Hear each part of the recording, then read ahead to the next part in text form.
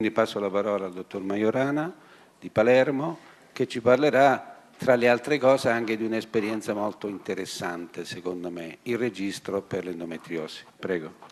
Grazie al moderatore per avermi dato la parola, buongiorno a tutti, grazie a Marisa per l'organizzazione di questo splendido evento, l'energia, eh, l'entusiasmo e la professionalità dimostrate nell'organizzazione di questa giornata ritengo che saranno da esempio per molti di noi. Eh, mi è stato chiesto di parlare dell'esperienza del nostro, del nostro, ambulatorio di endometriosi e di, del dolore pelvico cronico e di parlare anche di, una, uh, di un'altra esperienza, quella del registro dell'endometriosi, una cosa cominciata eh, tanto tempo fa quando mi sono reso conto che necessitava di uno strumento per conoscere meglio questa malattia, eh, una esperienza che poi è cominciata e come ci diceva poc'anzi la professoressa Coccia probabilmente diventerà una legge. Per parlare di questo eh, probabilmente è necessario introdurvi anche qualche piccolo dato in più. Noi sappiamo che grosso modo l'endometriosi incide in 10-12% delle donne in età fertile e questo trend è in aumento. Ehm, abbiamo dei dati sulla endometriosi che sono assolutamente approssimativi, ma guardate il riquadro in basso. L'esatta prevalenza e incidenza dell'endometriosi in atto non sono conosciute. Eh, abbiamo dei dati che prendiamo molto spesso da altre eh, realtà, per esempio questi sono i dati pubblicati al Senato della Repubblica e che derivano eh, dagli Stati Uniti. Eh,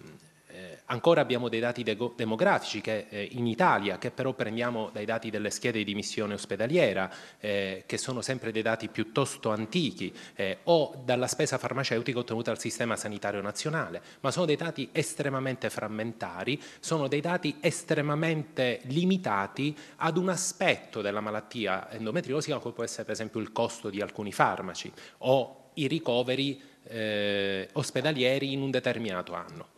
Ehm, anche il dato più importante, quello che 3 milioni di donne eh, siano affette grosso modo da endometriosi in Italia, è un dato che proviene da un dato degli Stati Uniti che poi è stato adattato al dato italiano prendendo in esame la popolazione generale italiana, dividendola in due, perché metà sono donne, e quindi applicando questo dato. Quindi è un dato assolutamente eh, così ricavato, ma quante donne siano in atto affette da endometriosi in Italia, questo non lo sa nessuno. Ehm,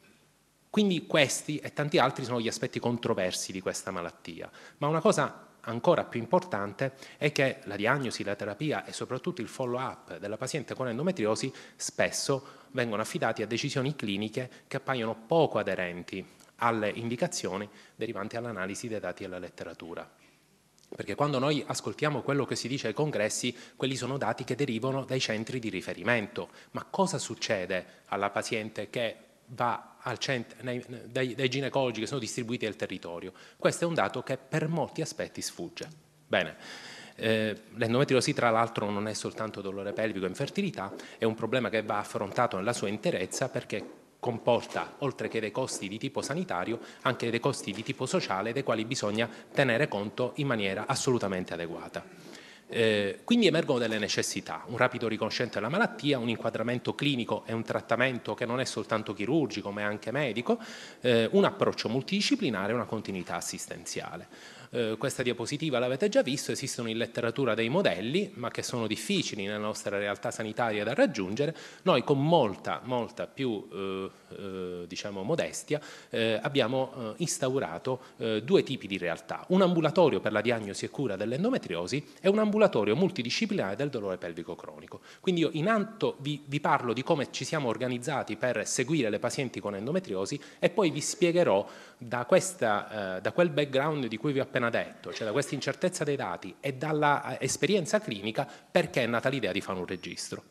Eh, l'ambulatorio del dolore pelvico cronico, dolore pelvico cronico, dico a chi non è un medico, è quel dolore eh, intermittente o costante del basso addome che duri da almeno sei mesi, eh, non correlato alla gravidanza né esclusivamente alla mestruazione o ai rapporti sessuali. È un'entità eh, abbastanza importante in ginecologia perché causa il 10% delle visite eh, ginecologiche ambulatoriali, del 40% della laparoscopia ginecologica e del 10-15% di tutte le isterectomie. Ehm, può essere sintomo di una malattia ginecologica, ma anche di eh, malattie da cause extraginecologiche ehm, e molto spesso eh, comporta nella donna la necessità di sottoporsi a visite specialisti, a terapie mediche, eh, anche a interventi chirurgici, spesso senza risultati. Quindi facendo nascere il timore che questo eh, dolore venga eh, riferito nella testa e quindi con ancora una volta enorme dispendio di tipo sociale eh, ed economico. Eh, allora eh, l'esigenza eh, di eh, creare questo ambulatorio perché quando una donna afferiva all'ambulatorio di endometriosi, poi dopo il work-up diagnostico si scopriva che non aveva l'endometriosi, questa donna eh, tendeva ad uscire dall'ambulatorio di endometriosi e restava un po' abbandonata a se stessa. Adesso invece afferisce a questo ambulatorio che garantisce un approccio olistico, un iter diagnostico personalizzato. Ehm, perché multidisciplinare? Perché il dolore pelvico cronico può essere da causa ginecologica, ma anche da causa gastrointestinale, da causa urologica, da cause muscoloscheletriche e da cause psicologiche. I nostri psicologi, che condividiamo con l'ambulatorio di endometriosi, hanno scoperto che in alcuni casi di dolore pelvico cronico preesisteva una eh, violenza sessuale che non è necessariamente un grosso evento, anche delle violenze molto molto subdole che queste donne da bambine avevano subito e che poi erano causa di dolore pelvico cronico e rimossa questa, il ricordo di questa causa si è rimosso anche il dolore pelvico cronico. Questi dati sono già pubblicati.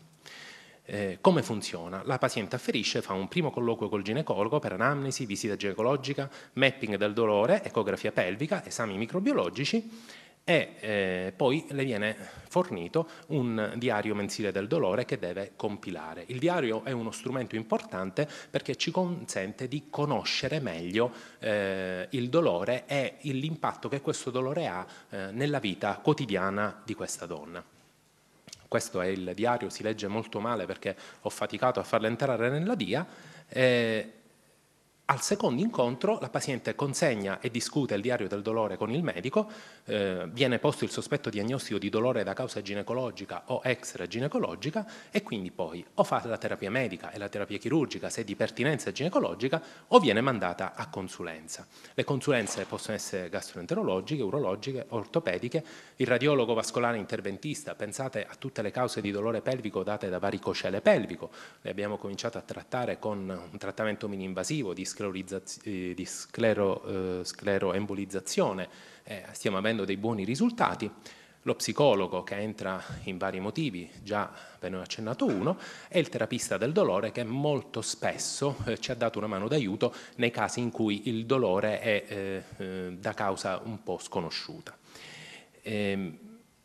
L'ambulatorio di endometriosi invece, ne abbiamo già parlato eh, in, vari, in, vari, modi, vi dico un po' come, eh, che, che, succede alla paziente con endometriosi che arriva nel nostro ambulatorio. Eh, arrivano, eh, dedichiamo una giornata, un po' come fanno i nostri colleghi, che è il mercoledì mattina, queste pazienti che sono 10 per ogni giorno, vengono raccolte tutte in una stanza dove fanno un primo approccio con eh, il collega psicologo, il collega ginecologo, l'infermiera ad esse dedicate. Quindi c'è questo momento di condivisione in cui ci si conosce tutti, poi si consegnano dei questionari, si parla un attimino della malattia, eh, poi alcune pazienti vanno nella stanza del colloquio con lo psicologo, quelle che lo richiedono, eh, le altre vanno nella stanza eh, con il ginecologo dove hanno un, la possibilità di fare un work-up completo eh, perché in quella stanza ovviamente c'è tutto quanto è necessario. Ovviamente il personale è dedicato eh, ecco, abbiamo festeggiato questa eh, settimana dell'endometriosi dedicando alle nostre pazienti una nuova iniziativa, l'abbiamo chiamata Vivendo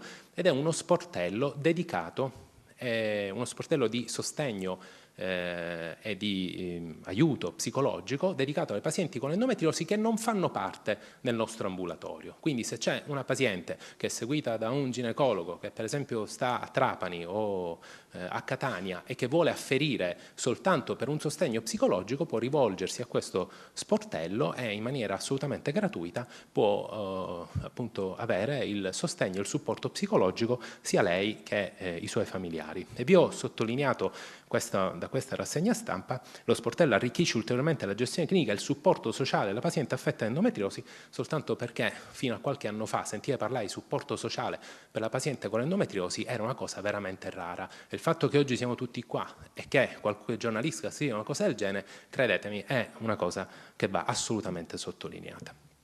I criteri di accesso sono quelli dei quali già abbiamo parlato, eh, sicuramente eh, internet è la eh, eh via di accesso fondamentale al nostro ambulatorio eh, di endometriosi, eh, ci sono degli strumenti che tutti quelli che fanno un trattamento diciamo, di eccellenza, forse il termine è esagerato, dell'endometriosi devono avere una cartella clinica personalizzata, l'utilizzazione di scale di misurazione del dolore, la VAS ritengo sia quella più condivisa e noi valutiamo la qualità di vita di una paziente con endometriosi utilizzando l'endometriosi self profile, del quale già avete sentito parlare, che è una valutazione della qualità di vita e non del dolore.